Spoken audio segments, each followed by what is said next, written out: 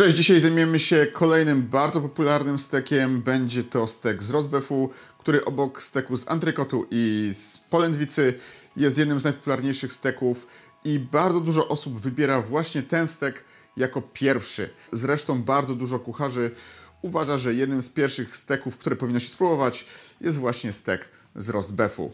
Zobaczymy dzisiaj, dlaczego tak jest i dlaczego rozbew jest troszeczkę bardziej skomplikowanym kawałkiem niż większości osób się wydaje.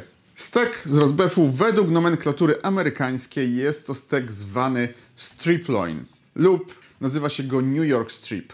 Ta druga nazwa bierze się z tego, że ten rodzaj steka był serwowany już w 1840 roku i w sumie był specjalnością jednego z najbardziej kultowych steakhouse'ów w Stanach Zjednoczonych, umiejscowionego dokładnie w Nowym Jorku, czyli Delmonico Steakhouse. W Polsce w restauracjach czasami też można spotkać to nazewnictwo właśnie strip loin lub New York steak, więc e, to jest też dosyć ważne dla Was, jeżeli będziecie zamawiali takiego steka w restauracji, to właśnie strip loin, New York steak, to są takie najpopularniejsze nazwy, więc yy, wydaje mi się, że fajnie byłoby, gdybyście wiedzieli, że to właśnie w ten sposób można nazywać te steki.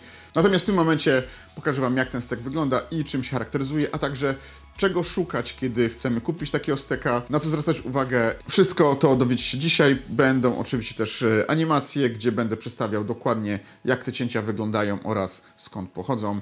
Także zaczynajmy. Tak właśnie wygląda stek z rozbefu. Bardzo charakterystyczny jest, dosyć długi. Najbardziej charakterystyczną częścią na tym rozbefie to jest ta okrywa tłuszczowa. Akurat tutaj ta okrywa jest dosyć mała, jak widzicie.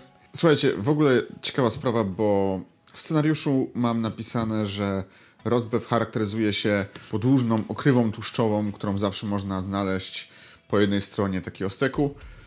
No i kupiłem dwa steki i one wyglądają w ten sposób. Ten, który Wam pokazywałem, czyli właściwie tylko ten kawałek tłuszczu tutaj mamy.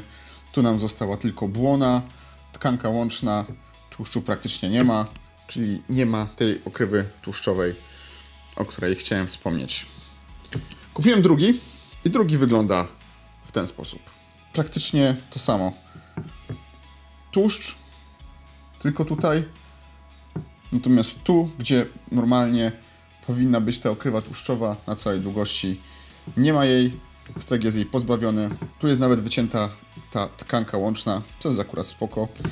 O tym kawałku będę za chwilę mówił. Na szczęście kupiłem jeszcze jeden kawałek, ten jest akurat na sucho i też będę Wam o nim za chwilkę mówił, bo on jest troszeczkę inny, ale on już ma tą ukrywę tłuszczową, więc mogę ją na szczęście Wam pokazać. Ok, słuchajcie, chwileczka dla sponsora. Sponsorem dzisiejszego odcinka jestem ja i chciałem Was bardzo zachęcić do kupna termometrów. Termometry z natychmiastowym odczytem idealnie sprawdzają się do steków, ale także do innych potraw. Niedawno weszły również do sprzedaży te fartuchy. Są pod tym samym linkiem. Linki znajdują się pod filmem, więc jeżeli chcecie coś tak stylowego mamy dostępne dwa kolory. Wszystkie informacje znajdują się w opisie. Kupując te rzeczy nie tylko dostajecie świetny towar, ale także wspieracie mój kanał, za co Wam naprawdę bardzo dziękuję. Jeżeli chcecie wesprzeć mój kanał w jakiś inny sposób, to zapraszam na Patronite'a. Można tam wpłacać e, datki na działalność tego kanału. Wszystkim, którzy wpłacają, oczywiście bardzo dziękuję. Linki do termometrów oraz do fartuchów znajdują się pod opisem tego filmu, a także każdego filmu na tym kanale oraz na głównej stronie kanału. Także zachęcam Was, a my wracamy już do filmu. I to jest właśnie to, o czym mówię. Ładna, gruba okrywa tłuszczowa. Ta jest właściwie nawet już za duża. Gdybym ja sprzedawał to, to jednak bym troszeczkę ją ściął. W restauracjach, w dobrych restauracjach tą okrywę się ścina tak, żeby nie było jej za dużo, natomiast żeby ona na pewno występowała, ponieważ to jest taka charakterystyczna część tego steka i ludzie chcą, żeby właśnie ten tłuszcz był na steku. Natomiast z tą okrywą tłuszczową jest jeden problem, ponieważ między nią a mięsem znajduje się tkanka łączna. Możecie zauważyć, że tutaj to szare zgrubienie to jest tkanka łączna, zresztą tutaj macie również Wycięty jest tłuszcz, ale także widać tą tkankę. To jest bardzo ciężkie do jedzenia. To jest praktycznie zawsze twarde, jak smażymy steka, więc bardzo dużo osób nie lubi tego kawałka właśnie z tego względu, że ludzie generalnie jedzą całego steka, nie wycinają nic z niego, ponieważ wydaje mi się, że większość osób uważa, że skoro zapłaciła już tyle pieniędzy, to nie będzie nic odcinać i wszystko, co się znajduje na talerzu, powinno być zjadliwe. Niestety są te części właśnie dosyć takie twarde.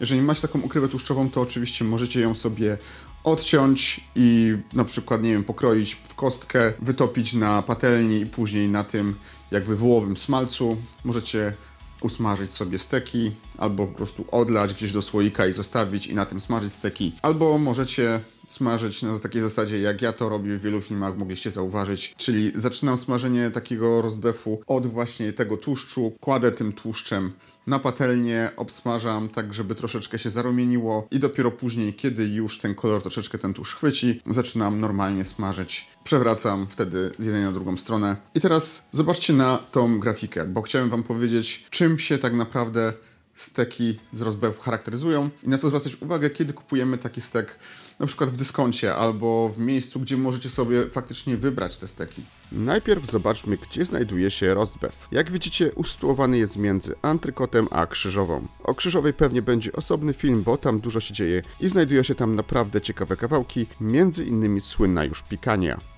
Steki z rozbefów wycinane od strony antrykotu, jak możecie się domyślić, są dosyć mocno podobne właśnie do antrykotu i mają nawet odrobinę tego mięśnia spinalis dorsi, o którym wspominałem przy okazji filmu z antrykotem.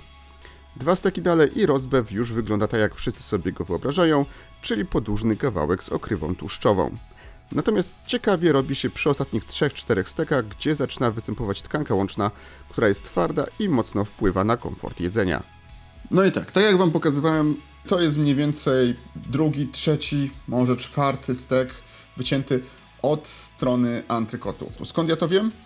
Otóż tutaj zostało jeszcze troszeczkę, jak widzicie, tego kawałka spinalis dorsi. I ten kawałek, on na początku jest troszeczkę większy i później im dalej od antrykotu ten kawałek tu robi się coraz mniejszy, aż w końcu zanika i zostaje nam tylko ten mięsień tutaj.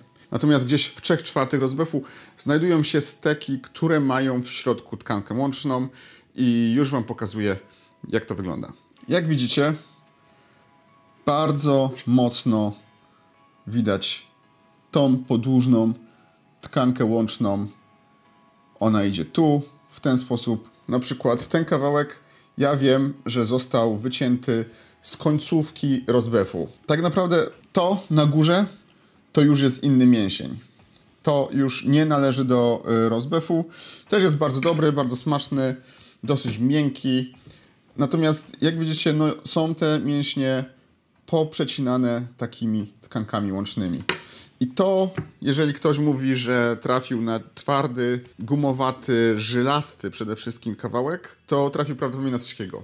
Najlepsze restauracje te kawałki w ogóle nie podają ich jako steki, tylko są wycinane, mielone, e, dodawane do burgerów. Natomiast bardzo często w steakhouse'ach można się z tym spotkać i bardzo dużo osób potrafi się zrazić do steków, ponieważ zostanie takiego rozbefa. Taki kawałek bardzo ciężko się je, ponieważ e, w każdym plasterku, który ukroimy, będzie ta tkanka łączna ona jest zawsze twarda, zawsze jest nieprzyjemna do jedzenia. Oczywiście można sobie pokroić w plastry i później odkroić sobie tą tkankę. Ona jest dosyć mocno widoczna i nie jeść jej.